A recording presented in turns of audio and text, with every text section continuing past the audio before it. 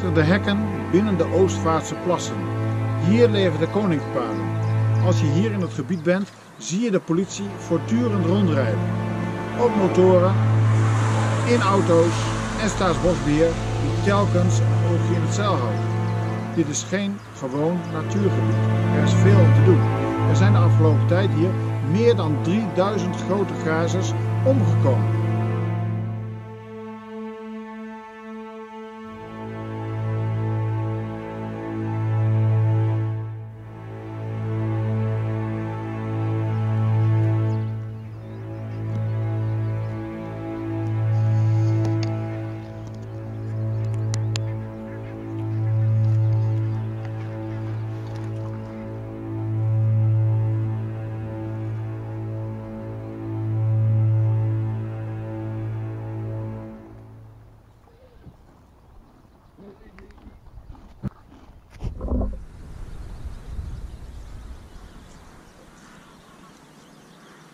Binnen de hekken van de Oostvaardersplassen, het domein van de grote grazers.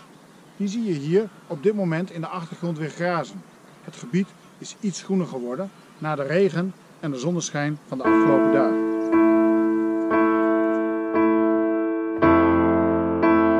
Ik was erbij, de nachtelijke missies. Vandaag zijn we hier niet voor niets. 15 april, er staan weer acties op touw. En dit keer in het gebied zelf in Lelystad. De toegangswegen hier zijn geblokkeerd momenteel met zware betonblokken. De politie rijdt rond op motoren en ook Staatsbosbeheer houdt nauwlettend een oogje in het zeil. Wat er vandaag precies gaat gebeuren, dat weet ik niet.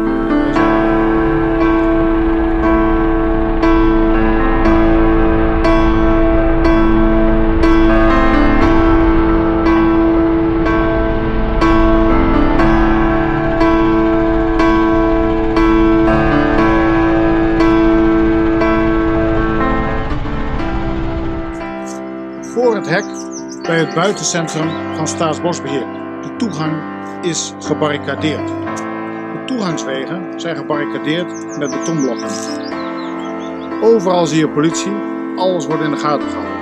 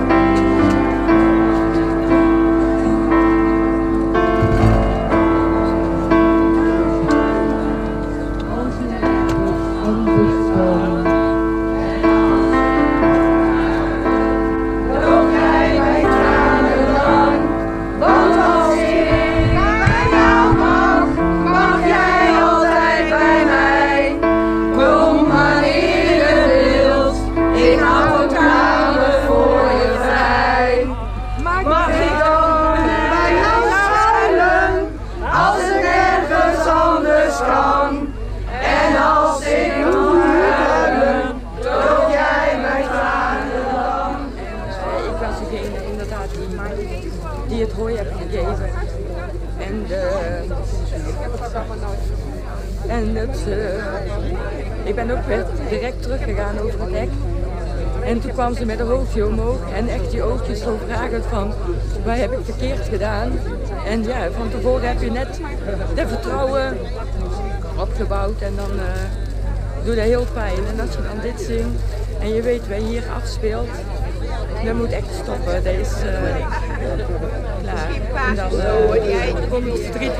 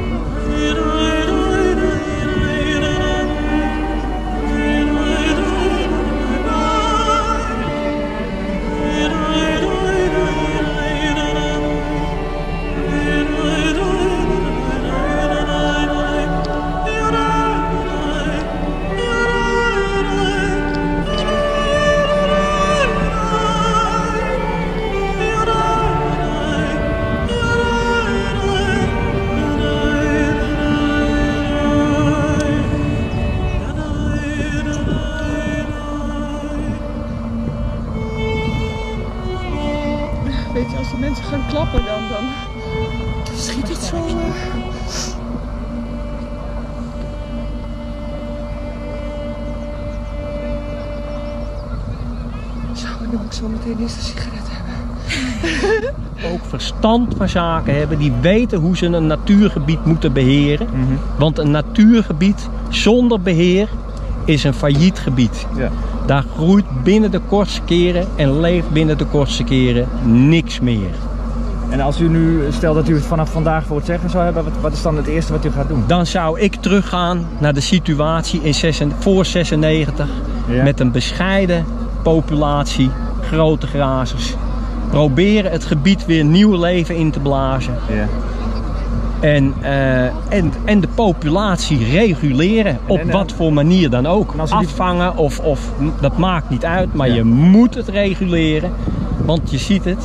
Er blijft niks over van het hele biotoop. niet. En, en als u dan die populatie vergelijkt van nu, het aantal dieren met, met wat dan verstandig zou zijn, hoe groot is dat? Nou, ik denk dat verantwoord, maar joh, ik ben natuurlijk ook geen bioloog. Maar ik denk als ik dat zo een beetje inschat, 2000 hectare is geschikt voor grote grazers.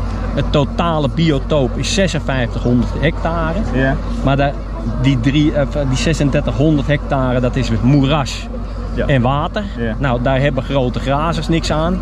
Er is in het verleden ook een rechtszaak geweest. Toen heeft de rechter het afgeketst omdat het biotoop groter was dan 5000 hectare. Oké, ja, omdat Maar het ja. eigenlijke biotoop voor grote grazers is maar 2000 hectare. Hoeveel, hoeveel dieren En als je daar 5500 dieren opgooit, Ja. dan is de graasdruk zo groot dat alles wat maar enigszins groen is of schors heeft, of Ja. noem het maar op, opgevreten wordt.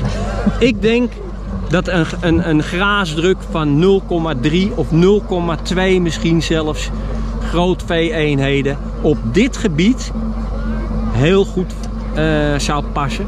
Want dit gebied is eigenlijk een vogelreservaat. Het is eigenlijk helemaal geen gebied voor grote grazers.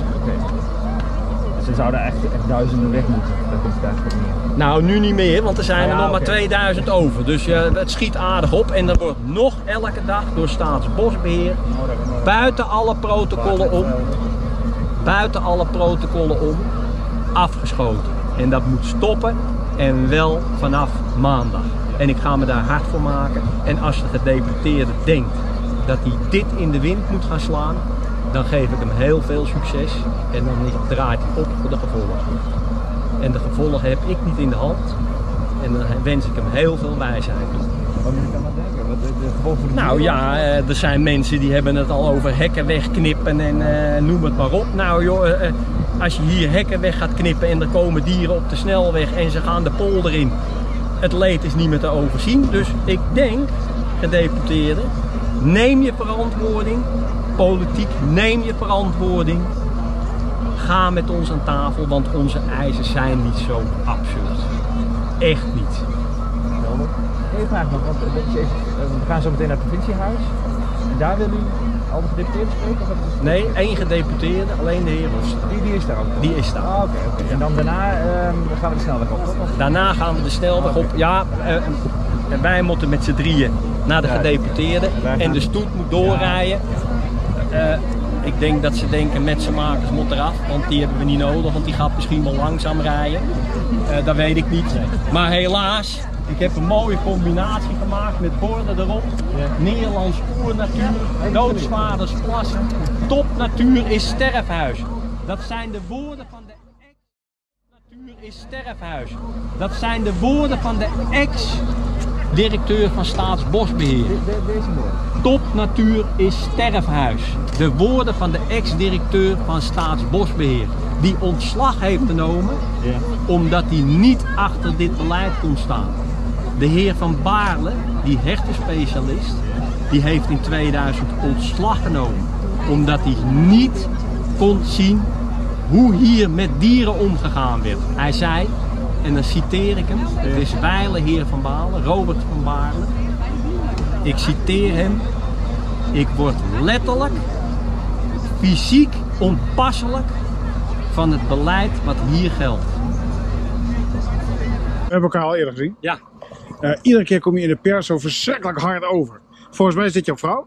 Nee. Nee? Oh, jullie kennen elkaar wel. Ja? Ehm, wat, wat is de relatie tussen jullie? eh? Ja, haat-liefde relatie. Oké, maar is, is hij zo hard? Of, eh? Nee, hij is een hele lieve man. Klein hartje en hij maakt zich alleen hard voor de dieren. Dus, eh, da- daarmee toont hij al aan dat hij gewoon echt eh, een, een hart van goud heeft. Omdat hij gewoon echt gaat voor de dieren. En dat is gewoon gedrevenheid. En geen boosheid of wat dan ook. Dus eh, dat is wat ik zie van, eh, van Bas. Dankjewel. Ik ben zelf één nacht mee geweest en ik heb gezien wat deze mensen over hebben voor dieren. Ook alle donateurs die hooi gedoneerd hebben. Heel hartelijk bedankt. Zonder deze steun waren alle grote grazers inmiddels de pijp uit. We moeten ons hard maken voor de grote grazers die er nu nog zijn. En wel maandag. Ik ga met twee anderen van de Verenigde Actiegroepen zometeen bij de heer Hofstra vijf minuten op gesprek. En ik zal hem op mijn blote knieën smeken dat hij maandag aan de tafel komt. Even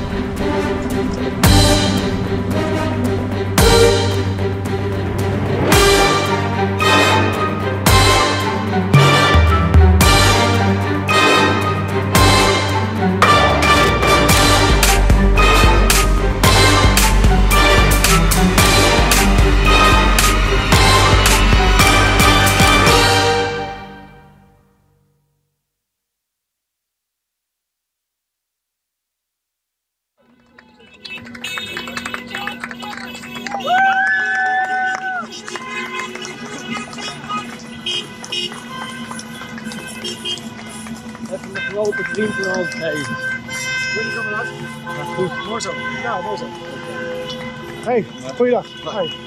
Ja, mooi. Jullie, eh, Ja, mooi hè? Oké, goed zo. Waar gaan we heen? hier, tot, eh, jullie eh, hier zouden willen staan. En dit, dit komt uh, neem ik aan de buiten hier. Dus dan kunnen jullie eventjes met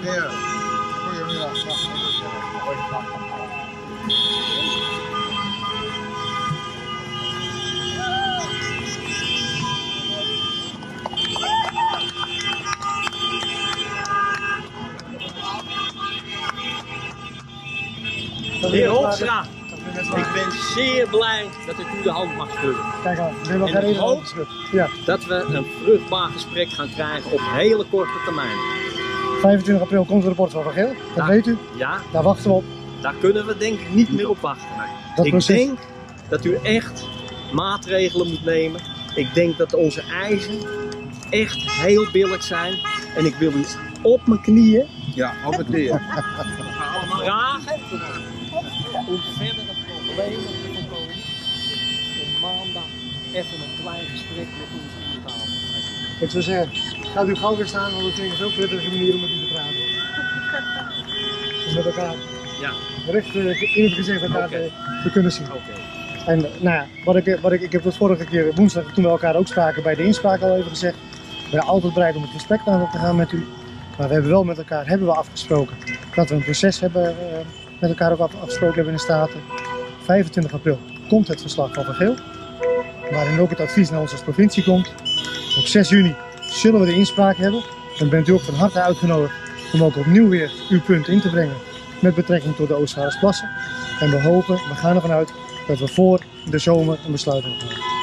Maar kunt u mij dan een reden geven waarom wordt er zo hardnekkig geageerd tegen het bijvoeren van de grote grazers momenteel? En waarom is Staatsbosbeheer een ene een heel ander beleid gaan voeren ten aanzien van het afschotbeleid? Dat herken ik niet. Eh, wat ik weet er is, gaan we, hebben besloten om bij te voeren. En wat ik zei, 25 april wachten we eerst het advies van Geel. Want dat lijkt me een mooie stap om te maken. Nou, ik denk, Zullen we dat, eh, ik denk, dat zijn- dat nou, zullen, zullen we dat eh, daar de hand geven? ik wil u Ja, graag maandag nog even spre- spreken. Zou dat kunnen? Wij zullen maandag even kijken of het mogelijk is. Ja, Dat zou ik heel erg waarderen. Ja? En Ja. dan hoop ik dat we eruit komen. 25 april. Ik denk wel dat de verantwoordelijkheid nu bij u ligt. Wij hebben acht weken geprobeerd om in gesprek te komen. En ik, ik ben echt van mening dat dat nu echt even moet gebeuren. Om verdere escalatie te voorkomen. Want ik hou mijn achterban niet meer in de handen. Uw punt is duidelijk. En ik, oké, punt is duidelijk. ik, ik hoor heel graag van u. Uw punt is duidelijk. Dank u wel. actie meneer. Nou, eh, dit is eh, inderdaad iets wat, eh, nou, wat we in de afgelopen weken meer hebben gezien natuurlijk rondom de Oostvaardersplassen.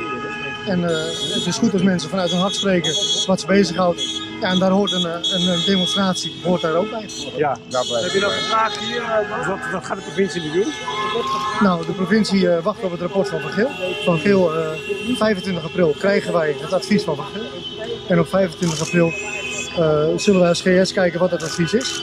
En dan gaan we met de Provinciale Staten, want die moeten er uiteindelijk een besluit over nemen. Gaan we kijken hoe we dat, eh, met dat advies omgaan. Ja, wat zijn de Oostvaardersplassen in deze vorm nog houdbaar? Zoals ik zei, eerst wachten we dat advies van, eh, van Geel af dat 25 april komt. Ik dank u voor de komst. hartelijk dank. Ja.